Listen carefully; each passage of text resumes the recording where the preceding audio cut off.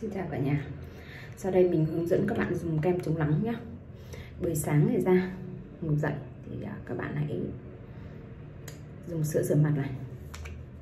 Một lượng vừa đủ nhé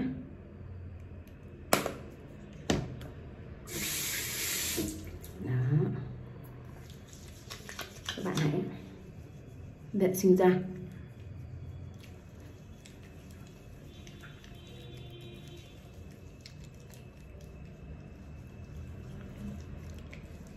Các bạn thấy chưa? Một lượng thực sự vừa đủ thôi, đừng làm quá. Một tuyết sữa rửa mặt này các bạn có thể rửa trong vòng 5 đến 6 tháng đấy. Ừ. Ừ.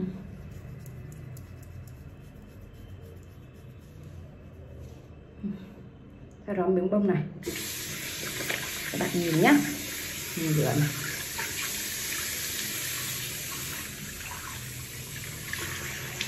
đó nhớ là các bạn phải rửa toàn bộ bằng nước mát hết. Ở ngoài Hà Nội mà có lạnh hay các vùng nào các bạn ở lạnh, các bạn cũng phải rửa bằng nước mát. Thì da mới không khô.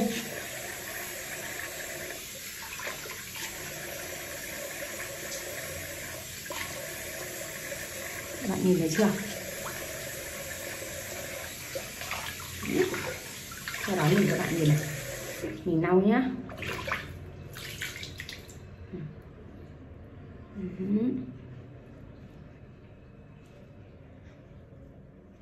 Mình sẽ hướng dẫn các bạn dùng kem chống nắng.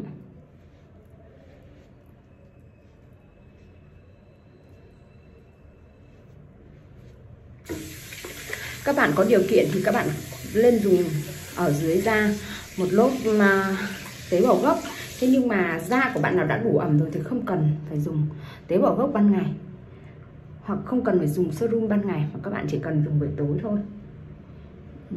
Nhớ sau khi là dùng xong là về nhà các bạn phải tẩy trang sạch sẽ nhá.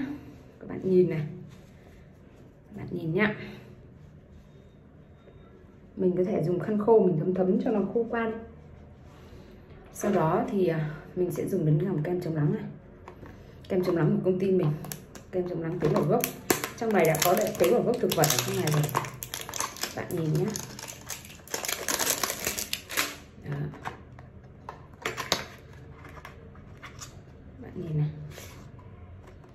Sau đây thì à, mình sẽ hướng dẫn các bạn dùng này.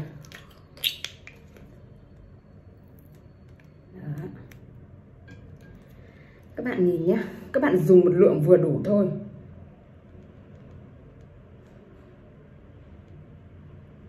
các bạn nhìn đây một tuyết kem chống nắng này thì các bạn có thể dùng được 8 đến 12 tháng. Các bạn nhìn nhé đây, kem chống nắng chỉ cần dùng từ này. Các bạn nhìn này. Bắt đầu các bạn vỗ đều. Ở các bạn chấm đều lên da.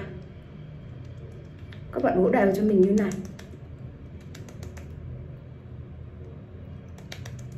Thì các bạn sẽ nhìn thấy lửa bên mặt của mình nó khác hẳn. Lửa bên này đúng chưa? Đây là lửa bên này đang có kem chống nắng. Các bạn nhìn thấy nhá. Đó. Kem chống nắng không bết dính. Các bạn nhìn nhé không đổ mồ hôi. Các bạn nhìn này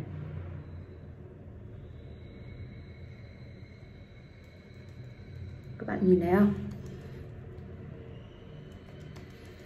Kem chống nắng của mình có dòng arbutin rất chi là tốt cho da và có dòng tế bào gốc thực vật. Các bạn nhé.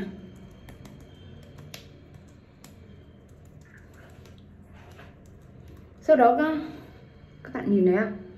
Nhìn thấy những cái vùng mình vỗ kem nắng rồi không? Ừ. các bạn nhìn này, mướt này. Đó. Các bạn nhìn nhá. Rất chi là mướt, đúng không? Đó các bạn nhìn thấy hai bên má và vùng trán khác hẳn nhau đúng không? Ừ, các bạn nhìn này mình vỗ đến trán.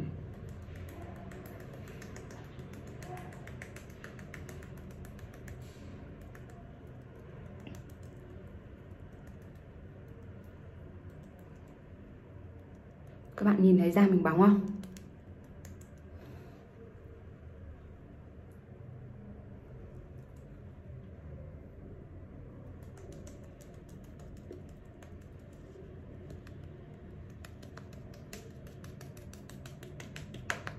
Mình đang ở mình vừa mới tắm xong.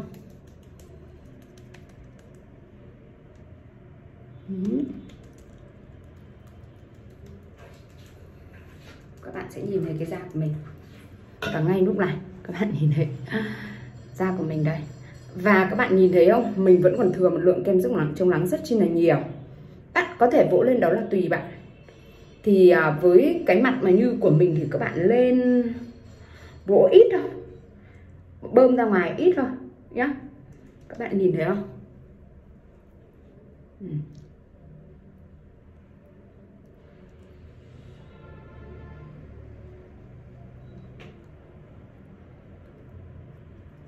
Sau đó các bạn chỉ cần thêm một chút son môi.